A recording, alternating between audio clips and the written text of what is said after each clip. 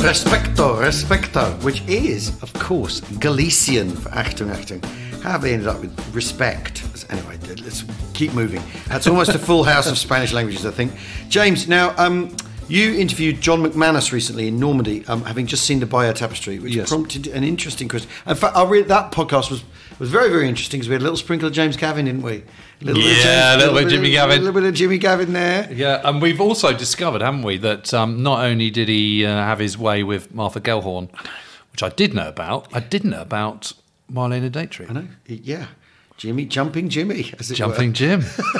But um, I mean, there was a very funny moment where John went, with respect to RG, about, about, about RG great. Uh, yeah, I still, I still, even though he's a Jim Gavin super fan, John McManus, even though he was pretty, I still His joint favourite general of all time. That's exactly what he said. I, st- I still don't know why he didn't take the bridge on D-Day of Market Garden. Still doesn't make, still don't make no sense. Well, to I'm, me. I'm, of course, I'm revisiting Jim Gavin with um, with Sicily. I'm doing his work on Sicily at Yeah, the yeah. moment, and so he's very much to the fore in that. Superstar general though. Anyway, Yes. Um, so you saw the the Bayeux Tapestry, and um, uh, I, re- if anyone, if you if you ever find yourself in Bayeux, which is a funny little town, I recommend it. It's um, Oh, it's amazing! it's I was completely, blown it's away. completely amazing. Isn't it? It is I remember going to see it when I was when I was like I must have been six with or Yeah. eight or something with my grandparents, and then going again about ten years ago, and it the the facility. It being like this odd, spooky memory because they haven't and updated the place at all. It's exactly the same, but the t- tapestry is incredible. Yeah, isn't it? they have now, and the, the, the place you see it's all kind of you know super lit and exactly Really? Oh, in a way that's not going to kind of sort of harm the fibres and all this kind of stuff. It's brilliant. Oh, that's good, excellent. But what was really good was the commentator. yeah, yes, yes, it's all, it's all. And then King Harold, you know, Yeah, with, with with sort of um, uh, and pipes and stuff. It's absolutely brilliant. right, but that threw up a question from one of our listeners, Man of Steel, who says, um, "Hi guys, loving the podcast. A quick question: Considering that the Nazis like to grab stuff and send it home, that's one way of putting it. What happened to the Bayeux Tapestry during the war? Did they just leave it alone, or was it hidden? Um, well, it was hidden to start off with. They put it in the basement of some hotel in Bayeux, but it was then found by the Germans, and of course they did half inch it because that's what Germans always do. And in the Did. war, in the war, Did, in yeah. the Oh, war, God, that was in the war. Okay, Nazi Germans, Yeah, yeah. Nazis did. Oh my god! You can't say anything anymore, can you? Anyway, back in the war, the Nazis did steal it, and I think they they sent it to somewhere like Alsace or something to start off with. But anyway, it ends up in the Louvre from the middle of the war. It's in the Louvre, and um, von Choltitz, who Yes. the, the Nazi who famously saves Paris from Hitler's blow it all up order. One of the reasons he says he does is because he doesn't want to destroy the Bayeux Tapestry as he's captured by the British. right, right. But anyway, so it then stays in, in the Louvre for a bit um, before being returned to Bayeux s- quite a bit of time after the war, I think. Yeah, and I think, it stays in the Louvre for a while. It's come here once, hasn't it? Has it come? It's coming, it's coming. It's coming. 2023. Right. Wow. President Macron is, le- is lending it to us. Very sweet of him. Okay. Well, it, I mean, he'll have to get it through customs, won't he? That's the only thing. Yeah. Big old tariff. Yeah, absolutely. Can't just send that here, mate. Might not, never get it back again. All right. Okay. So another fascinating bit of correspondence from the Smith on Twitter, who points us in the direction of the Battle of Bamber Bridge. Now, um, if you don't know about this, I, and I didn't, and uh, was was stumbled onto it by an excellent correspondent of ours on Twitter, the Smith. Um, the Battle of Bamber, Bamber Bridge is uh, it's a small village outside Preston, Bamber Bridge, and this what there was a race riot in 1943 in, um, in the summer of 1943 in Detroit in June of 1943, and so what you get then in Lancashire on June the 24th um, is a sort of race race convulsion within the US military. Um, On, the back of what's happened in Detroit. on the back of what's happened in Detroit, Detroit, and The also ripples. on the and on the back of basically how the American army's been handling its black soldiers, Yeah. and how what it, it doesn't trust them with combat jobs. So they tend to be driving lorries, they tend to be doing supply, they tend to be doing stuff like that because the American army essentially has a has a race problem, Yeah. a race issue, and and also because it's like a because it's racially segregated. One hundred 15 11th. I don't know how you'd say that. It's got to be 15, 11. 15 11th Quartermaster Truck Regiment. So they're basically supplies people. And those kind of places, they officers who weren't much good would get put in them and all that sort of thing. So you've got, you've basically, they're not being, they're not being treated respectfully because they're not allowed to be combat soldiers. They're not being treated the same as everyone else, not being trusted the same as other black soldiers, and they're being, they're not being led well. Yeah. And you end up with this situation where a number of black American soldiers are having a drink in Ye Old Hob Inn in Bamber Bridge, and some white American military policemen turn up and try to um, arrest some of the black men. And there's obviously argument and controversy about about who started it. Yeah. But what had happened is the village had been told that it um, should bar black men from certain um, uh, pubs. Yep. And the locals refused to go along with the race bar that the American army was insisting on. Yeah. Um, and in fact put signs up saying only black American servicemen allowed in these pubs. So feeding it, I mean, helpfully feeding into the tension, but it escalates, and they end up with a they end up with a riot. Well, in fact, black soldiers. Well, no, no, going to the armory, taking rifles for themselves, and taking pot shots at MPs, and an actual um, Wow. standoff with weapons. One soldier killed. And interestingly, that you, you get you get the mutinies of the people people are people are punished for mutiny and the related crimes and all that sort of thing, but but actually the hammer comes down on the officers who've let this happen, the racist attitudes in the American army. The American army goes, ah, there's clearly a problem, a real problem here, and we need to do something about it, which is, I think, really really interesting. I mean, Well, John McManus was really interesting about this. yeah, Um, Yeah. When I talked to him in Bayeux, he was uh, he was fascinating. I mean, just a whole host of stuff that I hadn't thought about. But how it, you know, he was he was saying that what happened in the 1960s was absolutely sort of presaged by what happened in in the Second World War. yeah, Of course, there was the 92nd Buffalo Division in, in Italy, North, northern Italy.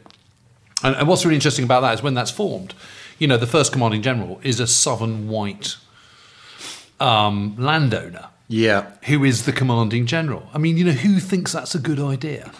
Uh, and, and all the officers maybe- to start off with are all white and Well, mostly maybe all someone, southern. maybe someone who thinks that a southern gent knows how to get black people to do what you want them to do. Yeah, but you, you, have to remember. what I mean. And then but I mean, 1934, Ah, 1934, there was a public lynching which was attended by 20,000 people in Yeah, Florida. yeah.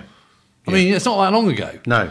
Um, it's amazing, really. Yeah. But anyway, I mean- so they don't perform terribly well, but they get, you know, like all these things, they, they, they, they get better. And what they realise is actually it's not a question about having black divisions, it's about having. Good people. Well, it's, well. it's about, it's about having. You, you put.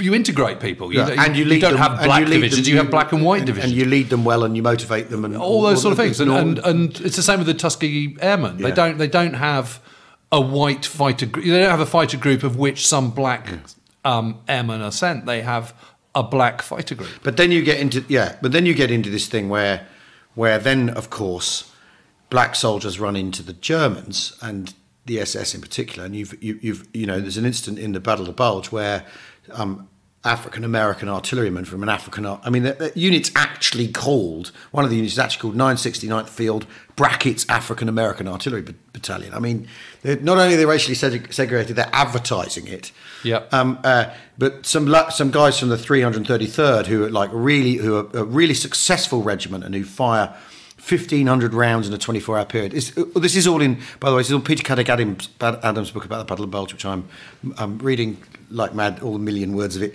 Um, but, but they run into the SS, and there's 11 black GIs, artillerymen, who are murdered by the SS.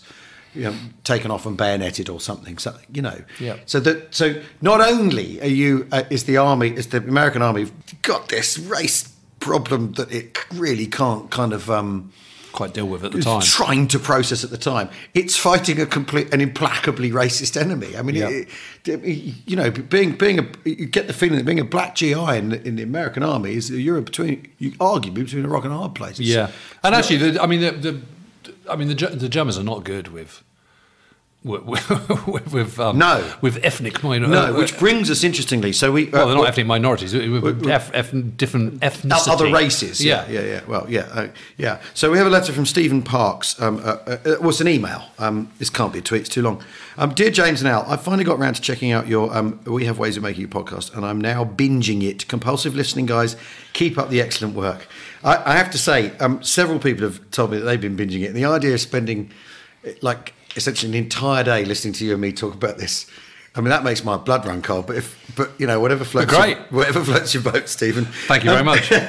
As you encourage your listeners to ask questions, I'm wondering if this one's been covered yet, or um, I guess if it has, I will come across the answer in one of the dozen or so podcasts I'm yet to catch up with. But if not, here goes. No, and we haven't touched on this.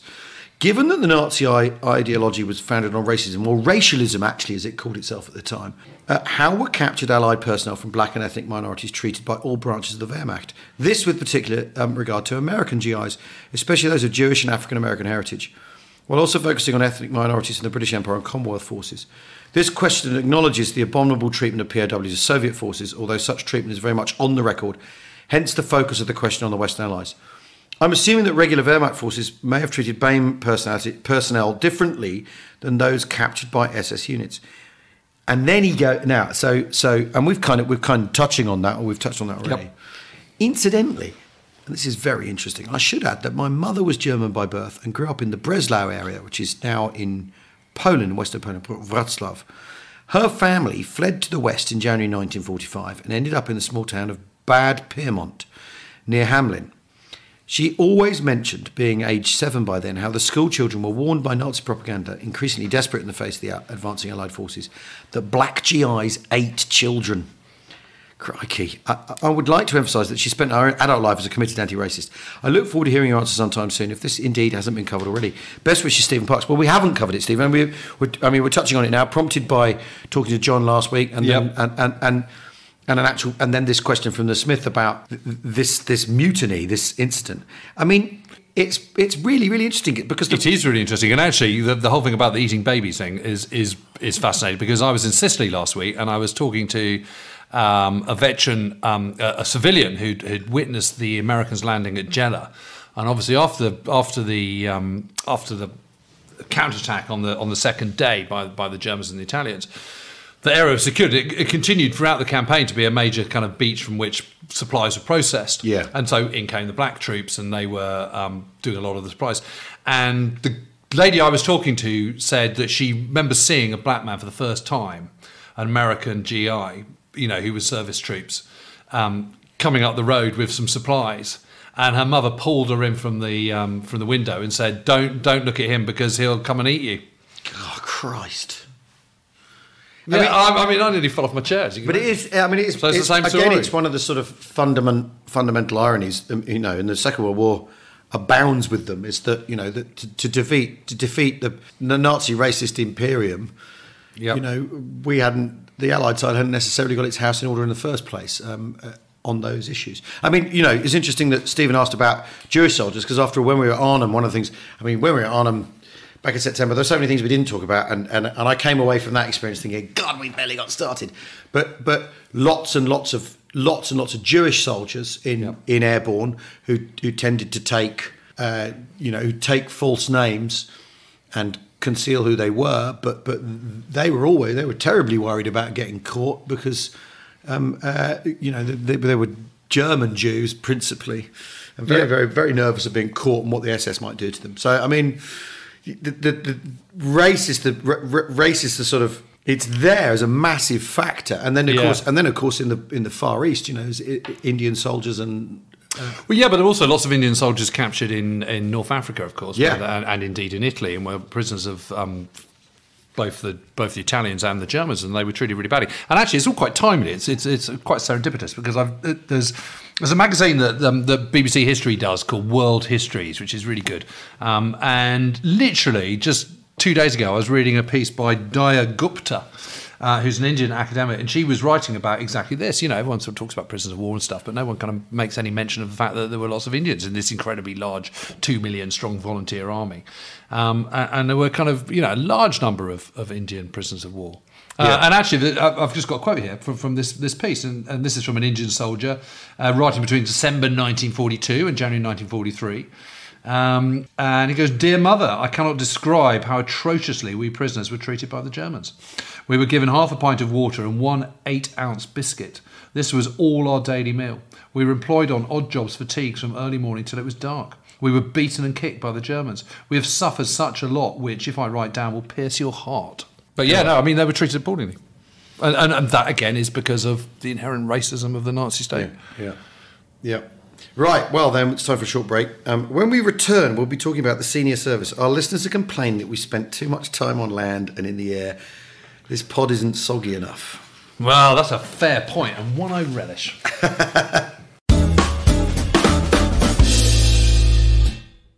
Hello there, We Have Ways listeners. It's Al here. I have a small favour to ask. Now, you may have noticed on social media in recent weeks that I've been campaigning on behalf of dkms.org.uk, trying to get people to register as blood stem cell donors. I'm doing this because my nephew Finley has been diagnosed with a very rare blood cancer. He needs a blood stem cell transplant. And so do thousands of other people. Now, this is where you come in. All you have to do is go to dkms.org.uk, fill in the online form, and they'll send you a swab pack. Three swabs that you rub around inside your cheek so you can send back your data that can go on their register. And then maybe one day you'll be picked as a match and give someone a second chance and maybe even save their life. Thanks very much for listening.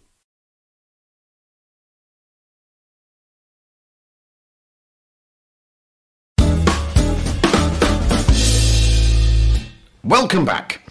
Uh, as I mentioned, uh, it has been suggested that we've been fixating on the poor bloody infantry and the valiant airborne, um, and some listeners want more seafaring chat. We're not salty enough, James. That's what it is. No, well, fair enough. Um, It's a fair point. It is a fair point, actually, and and I mean, funnily enough, uh, uh, it's it's a lot to do with the way that you you know soldiers running around and hiding in fox foxholes is kind of a bit more relatable than Well, also, you can't, you know, you're not going to go out to the mid Atlantic and sit in there and go, God, you know, this is where HX 77 got hammered, are you? And sort of, you know, what have you got? yeah. What ba- see. yeah, battlefield tour isn't exactly But, uh, you know, so what we got this morning? Well, we got some more sea. Um, you might not know it, but we're actually at kind of longitude X and latitude Y. Yeah. I mean, it's just you know, so people want to see things, don't they? And also, there haven't been that many films. There certainly hasn't been anything. I suppose there's been Das Boot recently, hasn't there?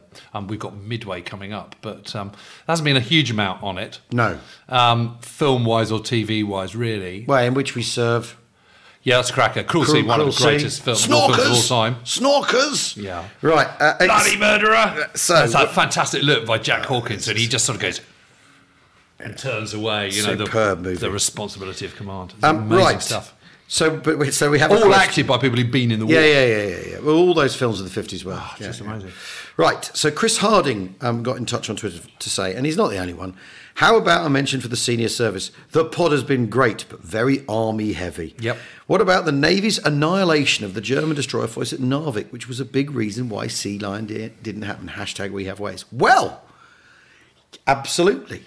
Yeah. Um, if, if Six to six German destroyers sent to the bottom in Narvik. Yeah. Absolutely annihilated. Yeah. Um, they did have some U boats in there, but their torpedoes didn't work like they often didn't because Yeah. they were a bit rubbish. Um, and, you know, Norway is always seen as a sort of terrible black mark for the Allies, particularly the British, but also the French, of course.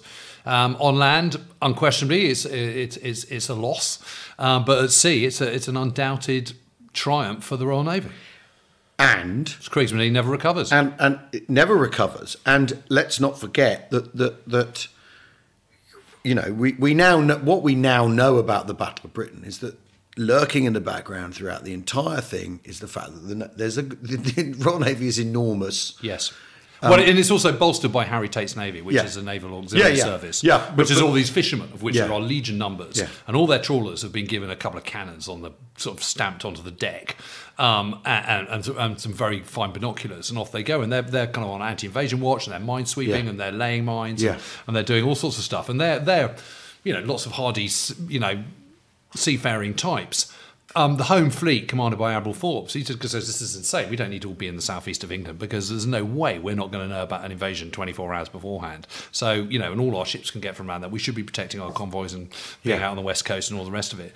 Um, but they're not, and he loses that particular battle, and and they're all kept down there. And you know, you're absolutely right. You know, people always talk about the few, you know, the fighter command being the kind of the you know the last defence against the Nazi hordes and all the rest of it. They're not. They're the first line of defence. Yeah. they're not the last. They're the first. Yeah.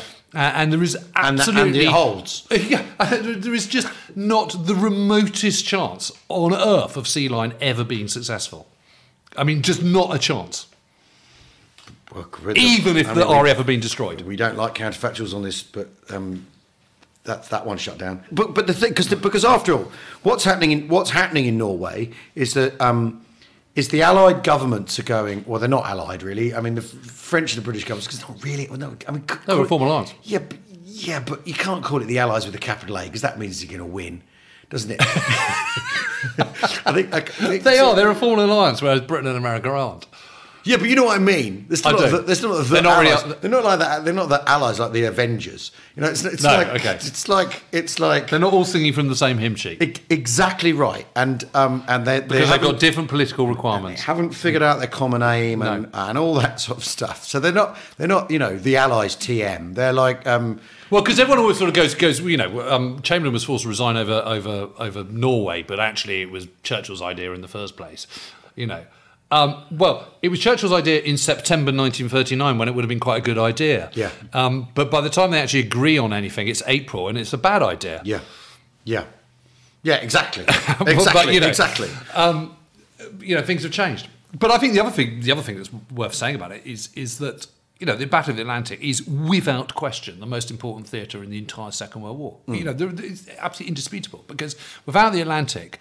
No, you will not None defeat. Nazi Germany. None you can't do it because everything, whether it's coming from India, whether it's coming from Australia, whether Yeah. it's coming from the far side of the Pacific, it's all got to get to Britain via the Atlantic. Yeah. And those sea lanes are really important. And what's really interesting about Britain is Britain realises right early on in the war that this is the case, that, that the Atlantic is the most important thing. So a huge amount of effort into its research and development of new scientific techniques and, and modern techniques for anti um, U-boat and anti-shipping stuff that's going on, um, technology, is put into the Battle of the Atlantic. So one of the key inventions is the cavity magnetron, which is what reduces the Yep. size of a radar from a massive 270 foot high mast into something that you can put on a Wellington Yep. or on a frig, you know, on a, on a destroyer or a corvette. Yep. Um, and the Germans never invent this, and they never know that we've got it. But it, they also have vastly increased the efficiency of, of, of Huff Duff, you know, um, high frequency direction finding, and all sorts of other techniques.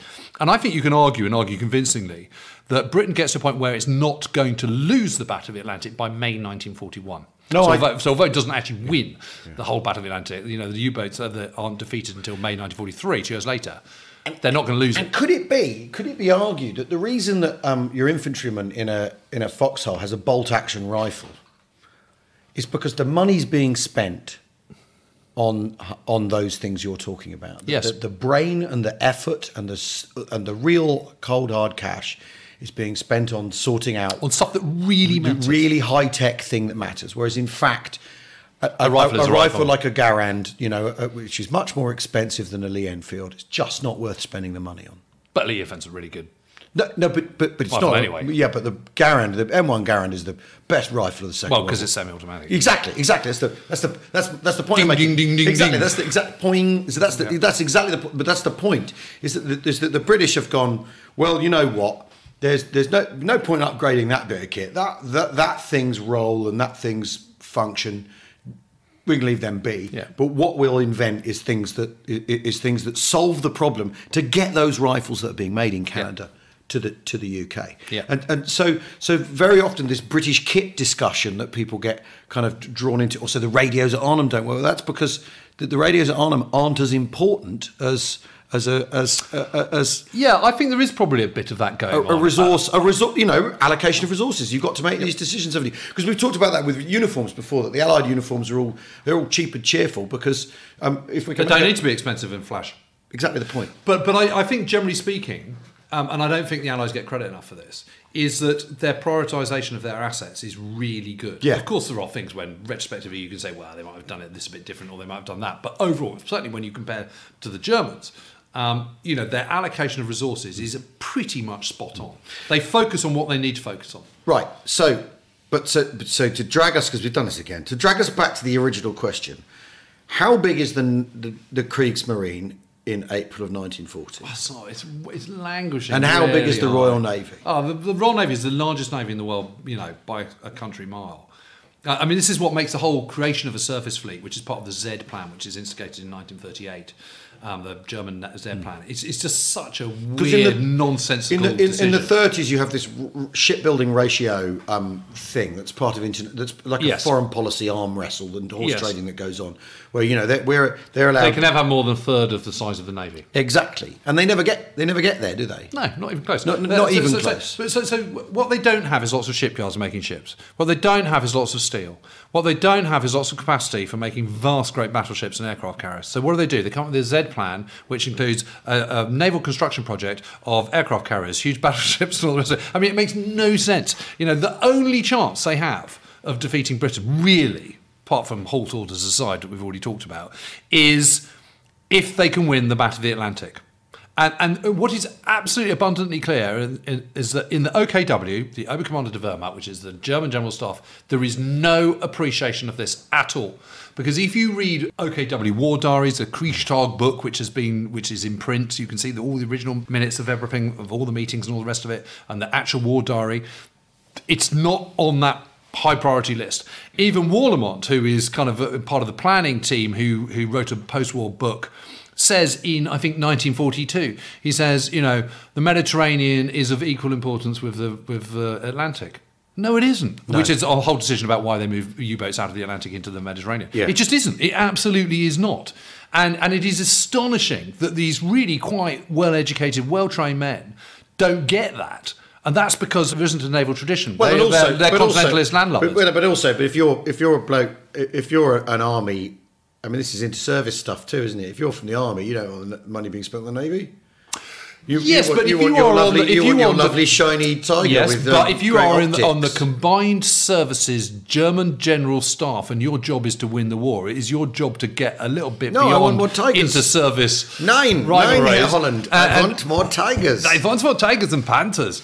Um, but even so, the only chance they've got of winning is having a vast, a pretty large, sizable U-boat fleet of at least 300 U-boats in 1939, because you have to operate on the principle of thirds. So you have a third out at sea fighting ship, sinking ships, you have a third going back and forth from the battle zone, and you have another third working up, doing maintenance, all the rest of it. Now that's always the way it's going to be. So if you've got a fleet of 300 U-boats, you're only going to have 100 in the Atlantic at any one time. What is amazing about 1940, when they do actually sink quite a lot because a lot of the convoys aren't escorted because they're all Oh, on probably anti-invasion watch, yeah, Um, uh, is that there's never more than 14 U-boats in operation at one time in the entire Atlantic. And by January 1941, when things are getting quite critical because the Luftwaffe has just lost the Battle of Britain and it's all going pear-shaped, um, they only have six.